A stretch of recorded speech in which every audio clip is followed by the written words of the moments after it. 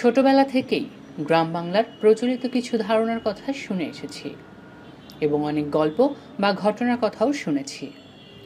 সেসব গল্প বা ঘটনার অধিকাংশই ছিল কোনো বটগাছ, তেঁতুল গাছ এবং বারঝাড়কে কেন্দ্র করে। এই গল্প বা ঘটনাগুলো কতটুকু সত্য তা যেমন নিশ্চিত করে বলা মুশকিল, ঠিক তেমনি গ্রাম বাংলার প্রচলিত কিছু ধারণা বা বিশ্বাস যা যুগ যুগ ধরে মানুষ তাদের চিন্তাধারায় বহন করছে। কিন্তু তাদের এ বিশ্বাসের সঠিক ব্যাখ্যা পাওয়াও ততটাই মুশকিল। তবে এমন অদ্ভুত বিশ্বাসের মজবুত কোনো ভিত্তি তো অবশ্যই আছে, যার সন্ধান বিজ্ঞানীরা এবং গবেষকরা আজ অবধি খুঁজে পাননি। এমনই এক প্রাচীন বটগাছের সন্ধান পাওয়া গেছে ভারতের পাঞ্জাবের ফতেহগড় সাহেব জেলার অন্তর্গত চরটিখেরি গ্রামে।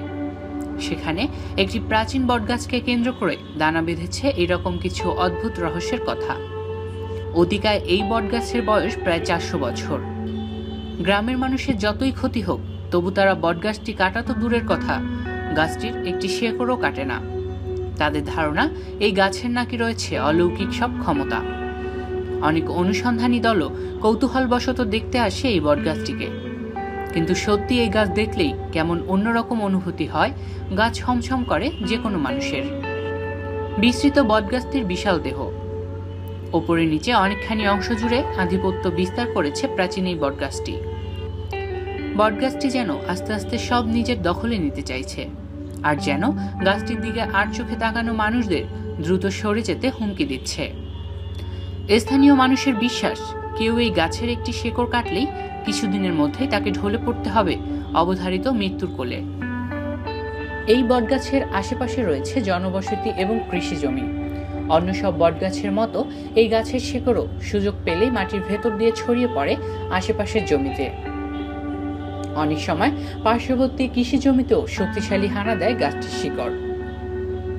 মাটির নিচে বটগাছের মোটা শেকড় থাকলে চাষবাসের অসুবিধা হয়। ফলে সেই শেকড় কেটে ফেলাই বিধেয়। কিন্তু সেখানকার লোকজন কখনোই এই গাছের শেকড় কাটে না। কারণ যারাই নাকি কেটেছে এর শেকড় সে অথবা তার নিকটতম আত্মীয় ঢলে পড়েছে মৃত্যুর কোলে, অথবা আত্মহত্যা করেছে তাদের কেউ। ওই গ্রামের একজন বয়স্ক লোক অনিল চৌহানকে এই গাছ সম্পর্কে জিজ্ঞেস করা হলে সে জানায়, সে তার জীবনে এমন অনেক উদাহরণ দেখেছে, যারা এই গাছের শেকড় কাটার কিছুদিনের মধ্যেই অস্বাভাবিকভাবে মারা গেছে, আত্মহত্যা করেছে, অথবা তার নিকট কোনো আত্মীয় হঠাৎ করেই মারা গেছে। তার যৌবনকালে এক কৃষকের কথা মনে আছে। যার জমিতেও এই গাছের শেকড় আটকে গিয়েছিল। ফলে সে এর একটি শেকড় কেটে ফেলে। শেকড় কাটার সাত দিন পরেই সে কলেরা হয়ে মারা যায়। এছাড়া মাত্র দশ বছর আগেও এক যুবক প্রচলিত এই ধারণা ভুল প্রমাণ করতে এর একটি শেকড় কাটে। কিন্তু তার ঠিক দশ দিন পর যুবকের স্ত্রী আত্মহত্যা করে। এসব বিভিন্ন ঘটনার কারণে এই গাছের শেকড় কেউ কাটে না। সে যতই ক্ষতি হোক। প্রয়োজনে চাষাবাদ বন্ধ করে দিয়ে অন্যত্র চলে যায়।